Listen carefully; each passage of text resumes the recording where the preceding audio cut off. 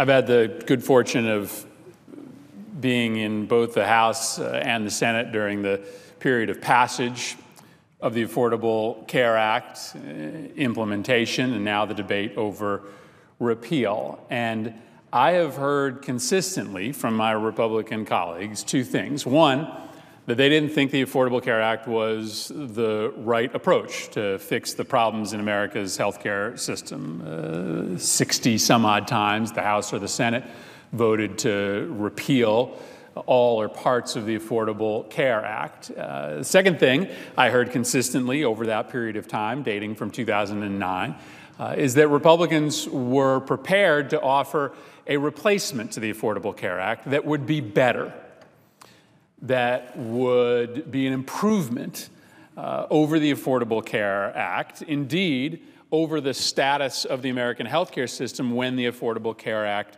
was passed. The ground has shifted mightily since then. The Congressional Budget Office tells us that under the Republican plan, either passed in the House or in the Senate, a humanitarian catastrophe would result in this country. Tens of millions of people would lose their health care. That's not what Republicans promised. That's not what Republicans said their replacement would do. They said that their replacement would be better than the Affordable Care Act. CBO says that rates will go up immediately by 20% on almost everybody. And then after that, if you're young and healthy, rates will probably go down. But for everybody else, the amount of money that you have to pay in premiums, copays, deductibles will go up. There's nothing in the Republican bill about cost, nothing that addresses the underlying issues with an American healthcare system that procedure by procedure costs twice as much as most other countries. And there's nothing about quality, not a single provision in the bill which encourages higher quality. And so, as we get ready for uh, the Republican repeal bill 3.0 or 4.0, whatever this next version will be, that will be released secretly to Republicans tomorrow, I think it is just worth reminding everybody what Republicans said would happen. And so, I will just use the words of our president. And I understand that many of my Republican colleagues here don't ascribe to all of the beliefs and statements of our president, but he is the leader of the Republican Party. All of my colleagues did support him, uh, and they stood with him in the House of Representatives, arm in arm, when they passed the Republican House repeal and replacement bill. So President Trump said this He said, I was the first and only potential GOP candidate to state there will be no cuts to Social Security, Medicare, and Medicaid. Huckabee copied me. So, no cuts to Medicaid. That was the promise. And yet, the bill that the president has endorsed is trying to help Leader McConnell push through the United States Senate, involves debilitating cuts to Medicaid. 700 to 800 billion dollars worth of cuts to Medicaid, resulting in millions of people being pushed off of that benefit. The cut to the state of Connecticut would be $3 billion. We are a tiny state. Our Medicaid program is somewhere in the neighborhood of $8 billion. We would lose 3 billion of that uh, as a result of this bill. The promise was that we wouldn't cut Medicaid. This bill cuts Medicaid. President Trump said if our health care plan is approved, you will see real health care and premiums will start tumbling down. Obamacare is in a death spiral. There's always one long sentence and then one very short sentence. So here's the two claims here premiums will start tumbling down. That was the promise, and that's been a consistent promise that costs will go down if the Affordable Care Act is repealed and replaced with a Republican plan. CBO debunks this from beginning to end. It says that premiums will go up, they will start tumbling upwards at rates uh, immediately of 20%. And then if you are older or you have any history of pre existing conditions, um, your premiums uh, will continue to go up. Um, the danger, of course, is thinking that the only thing you pay in the healthcare system is premiums. I could pretty easily construct a healthcare reform proposal in which your premium would go dramatically down. How would I do that? I would just shift all of the uh, payments onto deductibles, onto copays, and I would give you nothing with, with regard to the actuarial benefit of the plan. So it's easy to get premiums to go down if you don't care about what you're actually covering and the size of your deductibles and the size of your copays. And then Obamacare is in a death spiral. CBO debunks that as well. CBO says that if you leave the Affordable Care Act in place, over the course of the next 10 years, two or three million people will lose health care insurance. If you pass the Republican health care bill, that's where the death spiral occurs. 23 million people lose insurance if you pass the Republican bill, two to three million people lose insurance if you don't pass it. Again, President Trump saying healthcare plan is on its way. We'll have much lower premiums and deductibles. So here he's making a commitment on deductibles. Once again, this, the Congressional Budget Office says premiums go up and deductibles, especially for individuals who are older or individuals with a pre-existing condition, go up. At the same time, taking care of pre-existing conditions. This bill does not take care of people with pre-existing conditions. Why? Because it allows for any state to allow insurance companies uh, to get out from the minimum benefits requirement. So if you have cancer, well, technically, the Senate Republican bill says that you can't be charged more, but you may not be able to find a plan that covers cancer treatments. So that's not protecting people with pre existing conditions. And CBO says this specifically they say, especially for people with pre existing mental illness and pre existing addiction, they will be priced out of the marketplace because they will not find plans that cover their illness. You can't just protect people with pre existing conditions by saying that insurance plans have to cover them. You actually have to require insurance plans to offer the medical benefit that they need. And once again, our healthcare plan will lower premiums and deductibles and be great healthcare insurance companies are fleeing Obamacare. It is dead. So I've always I've already covered the part about premiums and deductibles, but you know, let's remember that insurance companies weren't fleeing Obamacare until President Trump was sworn into office. In the, the period of open enrollment covered a period prior to his inauguration and a period after his inauguration. Before President Trump's inauguration, open enrollment was on pace to enroll a record number of Americans in exchange plans and Medicaid plans. Record enrollment. Enrollment fell off a cliff after President Trump was sworn into office and signed an executive order telling all of his agencies to unwind the Affordable Care Act. People listened to President Trump, who said that he was going to kill the Affordable Care Act, and they stopped signing up for those plans. It got worse when he refused to pay insurance companies. Right now, the president will not commit to paying cost sharing subsidies to insurance companies more than 30 days ahead of time. He stopped enforcing the individual mandate, and it's no surprise that insurance companies are saying that they don't want to participate in these exchanges because the president is trying to kill them. He's made it very clear from day one. And I've had the benefit of being on the floor a number of times with Senator Barrasso who often came down to the floor following my remarks during the period of implementation of the Affordable Care Act. And I heard him talk about the fact that there will be freedom for Americans to have or not have insurance if this piece of legislation is passed. It's a wonderful idea that people will be free to not be able to afford insurance. The reality is, yes, some individuals buy insurance today because they are compelled to by the individual mandate. But there's a reason for that. If you don't compel people to buy insurance who are healthy, then you cannot protect people who are sick. I sat where the presiding officer is during Senator Cruz's 24 hour filibuster. And in the middle of that filibuster, he said exactly that. Senator Cruz, in the middle of his filibuster, said, we all understand that you have to have the individual mandate in order to prohibit companies from pricing people that are sick higher premiums.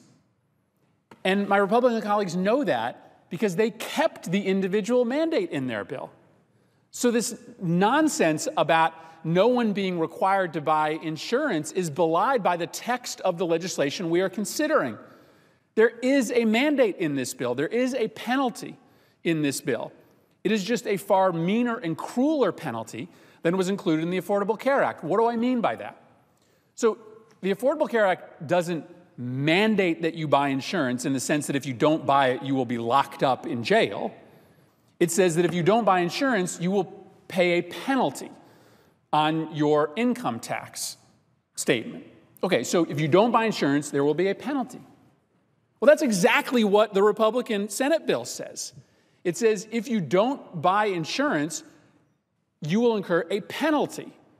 In their bill, the penalty is that you will be locked out of buying insurance for six months. If you are sick, or even frankly, if you're healthy and you need to go see a doctor for something, you will have to pay for that out of your pocket for those six months. If you are sick and you have a serious condition and you are legally refused health care because of this legislation, the consequences could be dire. But whatever the scope of the consequences, it is still a penalty, just like there was a penalty in the bill that the Democrats supported and passed in 2009, 2010. So it's just not true to say that now Americans have the freedom not to have health care. You don't, because you are going to be penalized if you let your health insurance lapse. If you don't make payments for a couple months, you are locked out of the insurance market. That's just a different kind of penalty than the one that is in our bill. And the truth of the matter is that, well, I admit there are some people that buy insurance today because they fear that penalty. It is necessary, as Republicans realize, in order to make sure that the markets don't spiral out of control. Because if you say that you can't charge people with pre existing conditions more, and you don't require healthy people to buy insurance, then why would any healthy person buy insurance? They'll just wait until they're sick because they know that once they are sick and need very expensive care, they can't be charged any more for it. The nature of insurance is that people who have the good fortune to be healthy or to be free of accident or natural disaster subsidize individuals who are not so fortunate, who are sick, who do have an accident occur to their home, who are subject to a natural disaster. That's how insurance works. Republicans realize that because they put a penalty in their bill. But for as many people who don't buy insurance, who, who, who, who buy insurance because they are forced to, most people buy insurance because they want it. Because they recognize that it's better to have insurance in the case that they or a loved one gets sick. And that is who we're talking about here. Of the 23 million who lose insurance, according to CBO, under the Republican bill, millions and millions of those are people who want insurance but won't be able to get it because they are priced out by the Republican bill. So I can see that there will be some people who will make that choice, but there will be millions more who had insurance today who will not be able to get it moving forward. As Republicans finish up this latest round of secret negotiations, I just want to make sure that we're on the same page about what this bill does. It mandates that you buy insurance just in a different way. It has a penalty, just like the Affordable Care Act has a penalty. And I want to make sure that we remember what Republicans stated as their goals for this replacement. The goals were that the system would be better. But by every single metric, this proposal will result in worse health care for people. Less people will have insurance. Rates will go up for everyone except for young, healthy people. Costs will continue to spiral out of control, and no additional measures will be taken to make quality better every single problem that Republicans address in the existing healthcare system gets worse. Senator Barrasso complains mercilessly about these exchanges. CBO says the exchanges will shed even more people. The costs will go even higher. Senator Cornyn regularly tweets out that the Affordable Care Act still left 28 million people uninsured. But this bill that you're debating will double the number of people that don't have insurance. For all of my Republican colleagues who rightly come down to the floor and talk about the fact that cost is too high for individuals in our system, there's not a single provision in this bill that deals with the actual cost of the service, of the procedure, of the visit, of the surgery.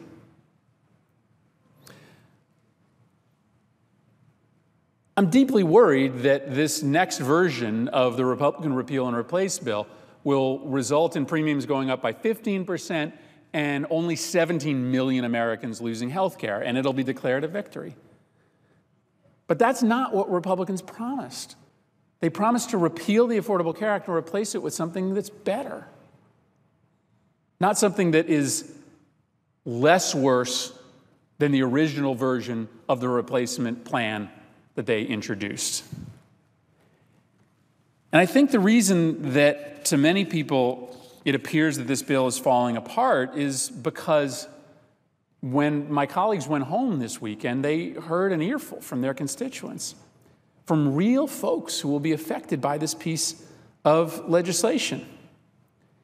Allison is 28 years old. She is from Milford, Connecticut, and she was in my office this week. She came down to DC this week. She and her boyfriend, I think. Um, I don't want to ascribe an engagement to them that is not true. I think her boyfriend. They came down here this week. Um, they were supposed to be on vacation this week, and they decided to spend some of their vacation coming down to Washington so that Allison could tell her story to members of Congress. When she was nine years old, she was diagnosed with a rare liver disease. Um, at the time, she and her family were told that they would need to find a liver transplant um, in roughly 10 years, or she wouldn't survive. Um, at the start of her sophomore year at Sacred Heart University in Connecticut, she was starting to have symptoms of a condition that results from a buildup of ammonia in her brain. She was having a hard time concentrating. She had abdominal pain, nosebleeds, nausea, vomiting, and joint pain. Her doctor said it was time for her to get that transplant, that she was at that critical moment when she needed the transplant. Unfortunately, none of her family or eight other candidates, friends, I think, of the family, were a match for her. So, in desperation, her parents wrote an email and just sent it out on a list serve to uh, people that lived in Trumbull and the Sacred Heart University community. And from that email, an anonymous young man stepped forward, was tested, and determined to be a match. The surgery was a success. And when she walked on stage to receive her diploma from Sacred Heart University, she was joined by that anonymous donor, and her fellow graduates gave her a standing ovation. Now, her family was lucky because she had insurance through her father. Um, she is, because of the Affordable Care Act, allowed to do that at the time being under 26 years old. Her insurance paid for virtually everything that was necessary. But she says, had my dad not had the health benefits he did, I know my family would not be in the place we are today because my parents would have lost everything they worked so hard for. There was no way we could have afforded to pay for all of those burdens. And today she worries that if this bill is passed, she, as a young woman with a pre existing condition, will be destined to a life of discrimination because she may not be able to find a plan that covers her condition because of the withdrawal of protection with respect to the minimum benefits requirement. And even in Connecticut, she's vulnerable to that withdrawal of protection. Not because Connecticut is likely to allow insurance plans to offer coverage that doesn't include the minimum benefits, but because if you work for a big company, even if you're housed in Connecticut, if that company anchors their plan in a state that does strip away the insurance protections, then you lose the protections even as a resident of Connecticut. Allison is now a nurse in the neonatal intensive care unit at Yale University Children's Hospital. She is contributing in a big way to our state and to the healthcare system. And yet she is living in fear of this legislation being passed. And so she took some of her vacation to come down here and share her story with us. I'm with Senator Collins. I think that Republicans should scrap this garbage piece of legislation. And I hope that they understand that our offer is sincere, It is not political, that Democrats do want to sit down with Republicans and try to provide some reasonable fix to what still ails our healthcare system. And I'll end with this thought. It doesn't have to be like this. Healthcare does not have to be a political football that is just tossed from one side to the other every 10 years. That's what's been happening here for my entire political lifetime. I was elected to Congress in 2006, in part because of the tempest of popular frustration with the way in which Republicans passed the 2003 Medicare Modernization Act, which included the new prescription drug benefit that Democrats saw and sold as a giveaway to the drug and insurance industry. Democrats used healthcare as a political cudgel to bludgeon Republicans after the 2003 Medicare Modernization Act. Its implementation went very rocky, just as did the implementation of the Affordable Care Act, and Democrats used it against Republicans. In 2009, it was Republicans' turn to bludgeon Democrats. Democrats lost a lot of seats in 2010, in part because Republicans used the passage of the Affordable Care Act to politically harm Democrats. And now, once again, it's Democrats' turn to politically bludgeon Republicans. Whether this bill passes or not, the fact that Republicans have walked out on a plank with a partisan piece of legislation that takes insurance from 23 million people across the country and, as every poll shows, is widely unpopular, will be a political liability for Republicans. But what if we decided to stop tossing health care back and forth? What if we decided to jointly own one fifth of our economy? What if we decided to sit down and give a little bit from our side to yours to your side to ours? What if I said that I understood you cared about flexibility in these marketplaces? That I understood your desire for more flexibility for governors and state legislatures under Medicaid? What if you said you understood our interest in providing long term stability in these marketplaces? That you understood our desire to try to get at some of the costs of the actual services and devices and drugs that are sold? What if we sat down and fixed the things that aren't working, kept the things that are working, and held hands together and said that we're going to jointly own the American healthcare system? It would leave plenty of things to fight over. There would still be no shortage of disagreements that we could run elections on, whether it be immigration or taxes or minimum wage. There'd still be lots of things that we could disagree on. But for as long as I've been in politics, this issue has just been thrown back and forth to hurt Democrats, to hurt Republicans. And in the process, we've injected so much uncertainty into the healthcare system and into the economy writ large that we make it impossible for private sector reform to take hold. Hospitals and healthcare providers have been doing really innovative things since the Affordable Care Act went into effect because they got a signal from the federal government that we wanted them to start building big coordinated systems of care, that we were going to reward outcomes rather than volume. And so they started making all these big changes, and then about a year ago, they stopped because Republicans said they were going to blow up that model and pass something new. We frustrate innovation because we telegraph that healthcare policy is just going to ping pong back and forth between left and right. We hurt ourselves politically we frustrate private sector innovation at no benefit to us or the economy. My offer, and I think the offer from most of my colleagues, is sincere. If my Republican friends do choose to throw away this piece of legislation because it doesn't comport with the goals that Republicans have long said were at the heart of their effort to repeal this bill, there is an important bipartisan conversation about keeping what's working in our healthcare system and admitting together that there are big things that aren't working and fixing them together. I yield the floor.